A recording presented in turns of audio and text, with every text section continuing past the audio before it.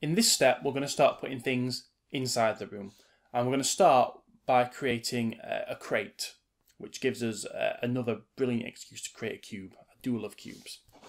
So, as I said earlier, I'm going to show you different ways of doing things, and this time we're going to create a cube using the hotbox. And what the hotbox is, it's something that the Maya Pros use so that they can turn off all their menus and give themselves more screen space.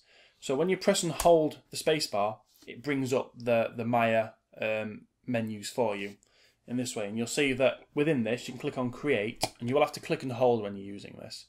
And then from the Polygon Primitives section, you can choose Cube, just like we did earlier, but we're getting it from a different place now. And there is our cube. And what you'll want to do with that cube is just move it up a little bit because it's stuck in the floor. Um, and then what I want you to do is we're going to resize it, we're going to reshape it a little bit, we're going to move it into the corner of the room, we're going to rotate it a little bit as well. So we're going to use the three main tools all together here.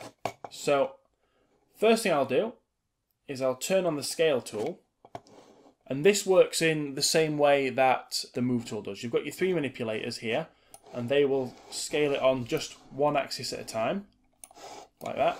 Or you can use these squares over here and that will scale it on two axes at once, leaving alone the one axis that it kind of represents. Uh, or you can scale from the middle, and that'll scale on all three axes at once. And often when you're scaling, it is a good idea to use that middle manipulator. So what I'm going to do is just scale up slightly like that. And I'm also just going to make it slightly kind of oblong, just so it's not a perfect cube. And then I'm going to move it down just so it's kind of just up above the floor. I'll then move it over to one corner of the room. And then I'm going to just rotate it.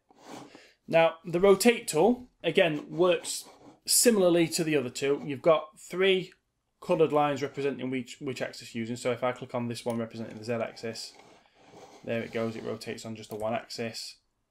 Same for this red one representing the x-axis and in this case I want to rotate it on Y just so that it's not perfectly in line with the the walls of the room.